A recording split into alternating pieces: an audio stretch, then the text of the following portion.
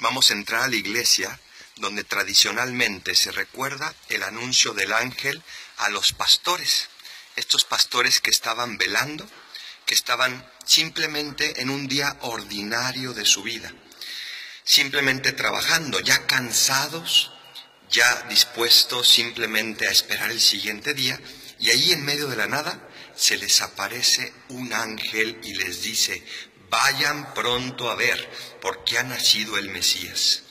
¿Y qué hacen estos pastores?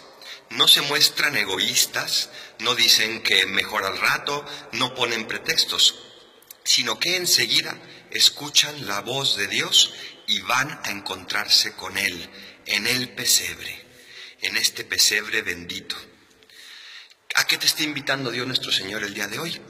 Te invita a que lo encuentres cada vez más a Él. ¿Le vas a hacer caso? Escúchale, porque escuchándolo, aunque tengas que romper con tu egoísmo y comodidad, es como vas a encontrarte con la paz y la felicidad de Belén, esa paz que solamente puede darte Dios desde el cielo.